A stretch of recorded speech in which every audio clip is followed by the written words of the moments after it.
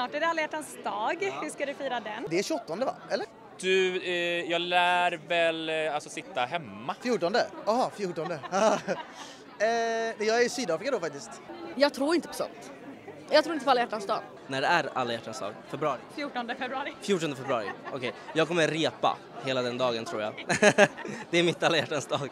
Ja, jag och min man Thomas. Nej. Nej.